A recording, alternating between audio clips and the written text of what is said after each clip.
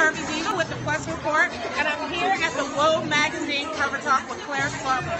So today they're going to be doing a fashion show, a nice little fashion talk, and talking about her book.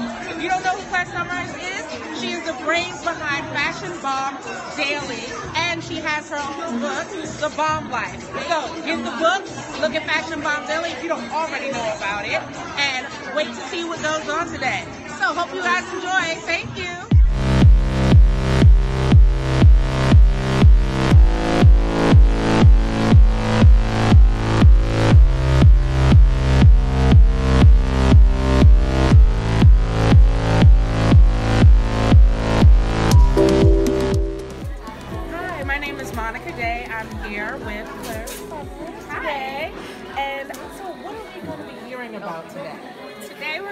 About my checklist cover with Vogue magazine. I love it. Beautiful. Process, um, why they chose me, and um, about Fashion Bomb Daily and Bomb Life, my book. Okay, now with fashion trends, what are we seeing in the plus size community? I know we're getting more into it. Ashley Graham is out there. Ashley Yeah. Simpson won, you know, Yeah. the, the, for the show and everything. And so, like, what are you seeing for trends for plus size women? Uh, I love the kimono trend. I think it's flattering on anybody,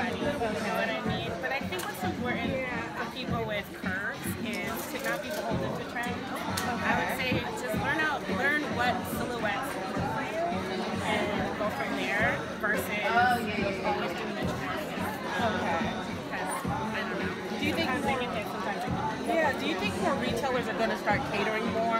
I know that there was just something this week about H&M getting in trouble about one girl thought she was a size 12 and the, the um, person at the store told her that they she might be a size 18, which was really, really, you know, off. So, right. I didn't hear about that. Yeah, it was on the news. She tweeted it out, and a lot of people came back saying about like the sizing was really off at H&M. So we kind of like get, re- you know, yeah. Well, I think the fashion industry has got to diversify because they're losing money left and right to brands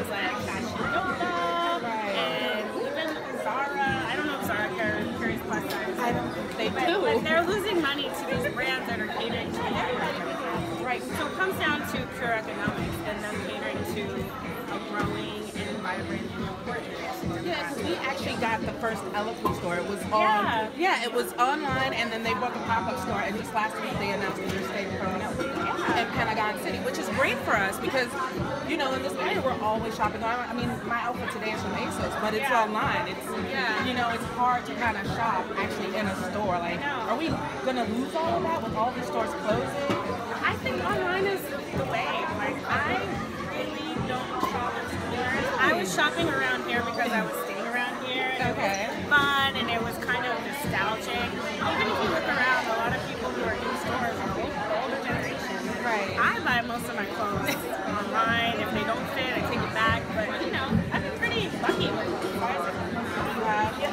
is kind of, I guess in the plus size community, we're always afraid of the right Yeah, fit for our bodies. Like, Yeah. it's always, we're always on chat room saying, is it true to size and all that type Yeah. of stuff. But I think if there's a demand, if there's a strong demand, if like we saw, then yeah, there will be more stores that pop up that cater to Thank you. I look forward to hearing you today and thank you. listening to everything you have to say about the trends going on. So thank you so much. Thank you for coming.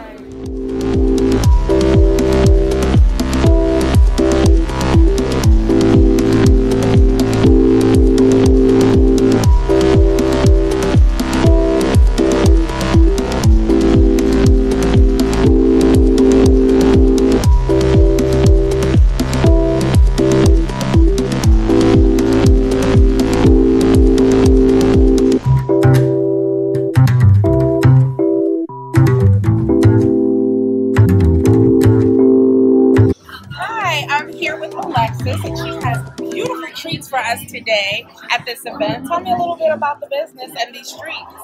Okay, so today we just want a little bit of some of our. Like brownie shots, chocolate milk strawberries, Yeah. chocolate Oreos, death by chocolate That's by chocolate. Mm. strawberry shortcake. And I see the cake pops back there. Those are glittering. Well, actually, those are brownie pops. Brownie pops. Okay. Yes, they're Just try to change up and do something different. That's good. So where are you located? We're located in Laurel, Maryland. Great. We're also located in so you're doing dual places. Anywhere else? Up? Well, is five. Five. Okay. All right, great. I love the treats. I can't wait to taste them. I love brownies, love chocolate. So this should be great. Thank you. Hi, I'm here with editor in chief of WOE Magazine, Io. Thank you for having this wonderful event today. The fashion show, amazing, amazing, amazing. And I love the cover talk. So many things that. So, can you tell me a little about what made you start the magazine and what made you put it out there? Yeah. Well, WOE was birthed through a women's empowerment group that I had called WOE for about 10 years. But I've always had a dream to launch a magazine. So I wanted to sure to launch a magazine. So I kind of stopped doing the group and I stepped out on faith in 2016 last year and birthed WOE. Here we are today. Now, so what do you think you have, like, where do you think you want to go with it? Like, what do you have coming up for us? Oh, I know there's so much. where I want to go, we're going to be in all of Barnes and Nobles, Target. I want to be on all of the major department stores, and airports. And not only that, we're going to expand the world So we have some great things coming up. There's some more um, great, amazing cover talk events that are coming up as well. Centered around different issues that we're having up going forward. Um, we launched another event last year, this this year, called No Filter Real Talk Experience. So we're all about empowering women to become better and also to walk in our.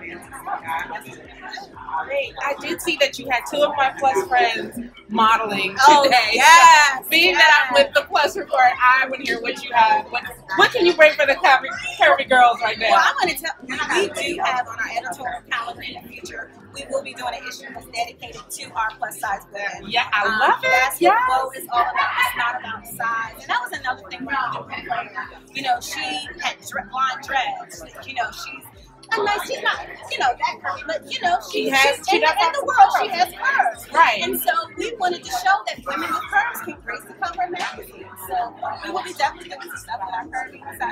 Thank you so much. Well, thank you for this wonderful event. Thank you for your time. Loved everything. Pick up WOE Magazine. Get to know it now because when it gets bigger, you're going to wish you already knew. And it won't be long. That's right. Thank you so much. Thank you.